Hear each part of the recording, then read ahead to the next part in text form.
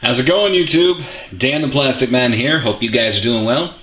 Time to take a look at the plates of the Try Burning Gundam.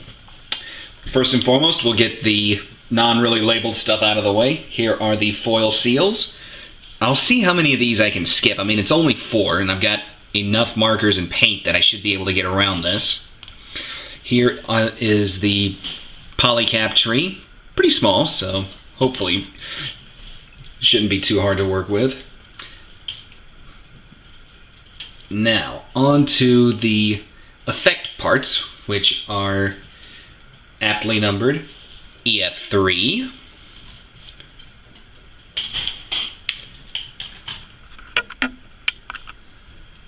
get that fully out of frame, EF4, which is more for the standard flames and is actually, I was going to say very soft, but no broken pieces, it's just that the tree itself just snapped. So EF4 out of the way, and EF5, which is more for the burning burst system.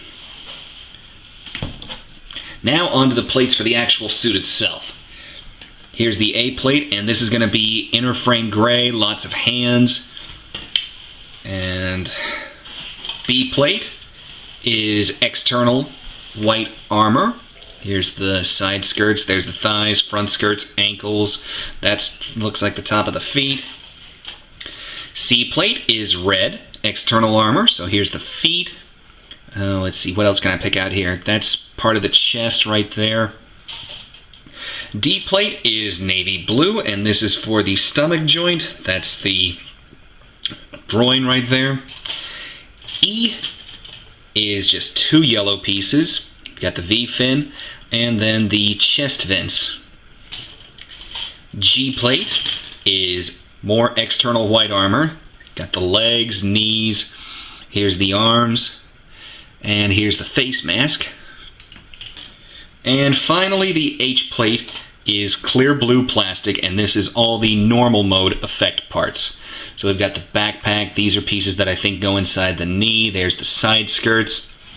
So all in all, I'm really looking forward to putting this suit together. So if you guys like this video, leave me a like, subscribe, leave me some comments. I love reading them. And take care of yourselves, guys. I will see you at the next video. Bye-bye.